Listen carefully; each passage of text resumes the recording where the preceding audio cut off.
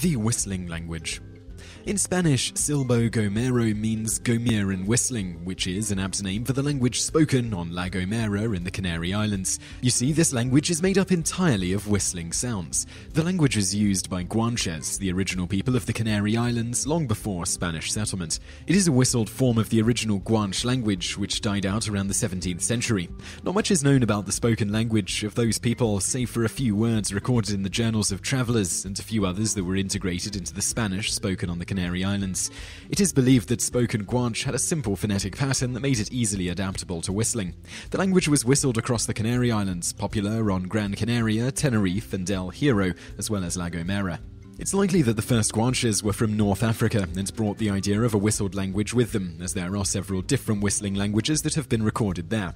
From the time of Guanche settlement, the language evolved into Guanche whistling and then to Silbo. Today, Silbo is a whistled form of Spanish. It was adopted in the 16th century after the last of the Guanches adapted their whistled language to Spanish.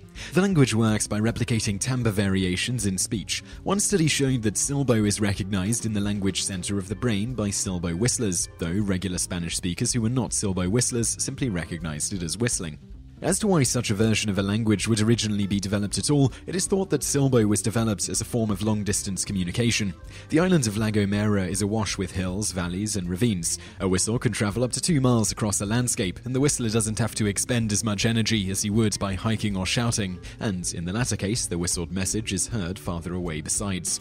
When La Gomera was largely an agricultural island, crops and herds of animals like sheep would be spread out across the hills, and herders would use language to communicate with one another across across these large distances. Speaking via whistling still saw widespread use as late as the 1940s and 50s when another purpose was discovered. If a fire started, the Guardia Civil would make civilians drop what they were doing, but the locals wouldn't get paid for their work, despite the Guardia receiving a payment. So locals passed a message along by whistling, telling others to hide when the Guardia Civil approached. Because the Guardia Civil didn't understand Silbo, it was a sort of secret language among the locals. Unfortunately, economic hardship around the 1950s put Silbo speaking in the decline, as most of the whistlers were forced to move to find better opportunities.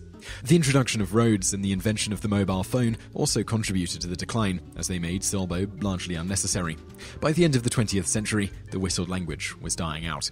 However, as an integral part of the island's history, there was interest in reviving the language to preserve the culture. The call for revival was met with mixed emotions because many people thought of it as a peasant language of little use to them.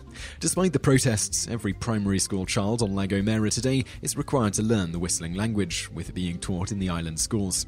The revival of Silbo has other benefits too. Silbo is one of the few whistling languages that has been studied in depth, and researchers believe that its simplicity, with only two to four vowels and four consonants, holds the key to discovering how other languages developed, despite not knowing the exact origin of Silbo itself.